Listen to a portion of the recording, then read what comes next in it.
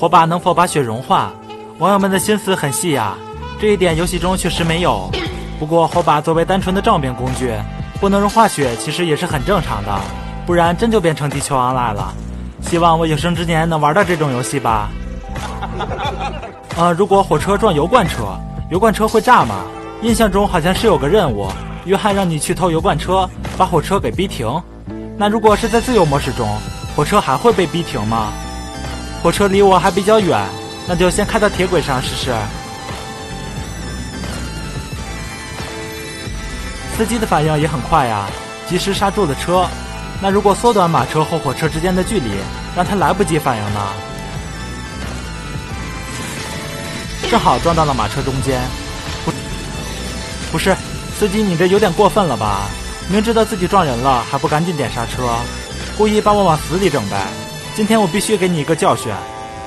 好，不开玩笑啊！为了避免刚才没炸是偶然，咱们再试一次。看来是油罐的质量太好了，火车的力量不足以破坏它。不过马车其他的木质结构已经烂得不行了。那么问题来了，游戏中的火车撞油罐车不会爆炸，那如果是现实生活中两车相撞呢？评论区有没有懂哥来分析一下？第三个问题，火焰可以烧毁房子吗？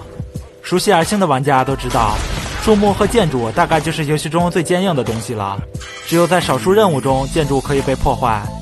自由模式中是不行的，房子虽然不能被烧毁，但是最起码可以在表面燃烧，而且砖房和木质房的效果也不太一样。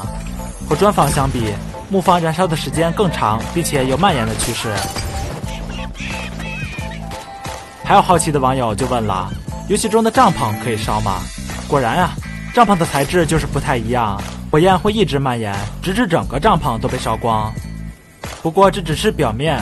实际上还有很多丝状物体漂浮在空中，并且有体积碰撞，玩家无法通过。可能这就是帐篷的框架吧。看来到最后建筑还是不能被完全破坏呀。那么本期视频就到这里了，喜欢的记得三连，咱们下期视频再见。